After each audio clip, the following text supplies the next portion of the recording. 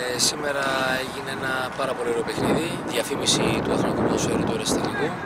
Πιστεύω παίξανε δύο από τις καλύτερες ομάδες, μαζί και με την Αγία Λεούσα που είναι ψηλά στα στρώματα της κατηγορίας μας. Ε, εμείς ήρθαμε σήμερα εδώ για να χτυπήσουμε παιχνίδι να το πάρουμε. Δεν υπήρχε άλλο αποτέλεσμα εκτός από την νίκη. Ε, παίξαμε θεωρώ ένα από τα καλύτερα παιχνίδια αδικού μας από το αποτέλεσμα γιατί χάσαμε περίπου 6 με 7 κλασικές ευκαιρίες. Ε, τον πιέσαμε πάρα πολύ τον αντίπαλο, του βάλαμε δύσκολα, αλλά γι' αυτό είναι και εκεί ψηλά ο, ο αντίπαλος, ε, γιατί θεωρείται μια από τις καλές ομάδες και έσβησε ό,τι κίνδυνο υπήρχε. Πιστεύουμε, πιστεύουμε να, να τελειώσουμε τη χρονιά όσο πιο καλά γίνεται, πιο ψηλά. Εντάξει, πιστεύω να τερματίσουμε τρίτη γιατί από ό,τι φαίνεται η πρώτη και η δεύτερη θέση ε, αρχίζει και απομακρύνεται.